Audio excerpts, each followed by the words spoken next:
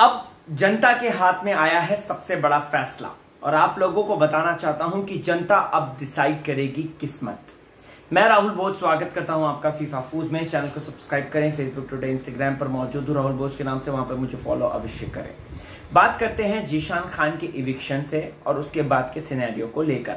जैसा कि हम सबको पता है कि बॉसमैन और बॉस लेडी यानी कि जीशान और दिव्या दोनों ही इस खेल का संचालन भी कर रहे थे। और प्लस दोनों ही खेल को बहुत अच्छी तरीके से चला भी रहे थे।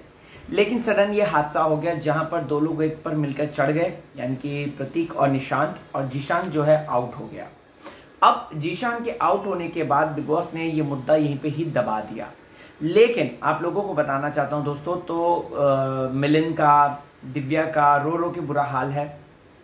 प्लस अक्षरा भी बहुत बुरा मान रही है मूस को बहुत बुरा लग रहा है दोस्तों। एंड शमिता उमिता शमिता और राकेश भी कहीं ना कहीं अपसेट है। बट आप लोगों को बता दूँ तो अब बिग बॉस ने साफ़ तौर पे बोल दिया है कि सुनो, ये जो बॉसमैन बॉस लेडी वाला चल रहा है ना, इसमें अब हम लोग तो इंटरफेयर नहीं करेंगे। मतलब हम लोग नहीं करेंगे लाइव वोटिंग चलेगी और लाइव वोटिंग जो है जनता करेगी। तो इस वक्त लाइव वोटिंग चल रही है दोस्तों, आप लोग डिसाइड कर सकते हैं कि इस हफ़्ते का बॉस मैन और बॉस लेडी कौन बनेगा। क्या वो मिलन और अक्षरा होंगे, क्या वो प्रतीक और नेहा होंगे, क्या वो राकेश या फिर शमिता होंगी या फिर मूस या निशांत होंगे। देखना दिलचस्प रहेगा कि ऑडियंस किसको बनाती है।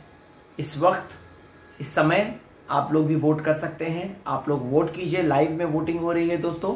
वोट में जाके वोट कीजिए और अपने फेवरेट वन को बना दीजिए। इस हफ़्ते का बॉसमैन बॉस लेडी बट ध्यान रखिएगा कि जीशान के साथ क्या हुआ।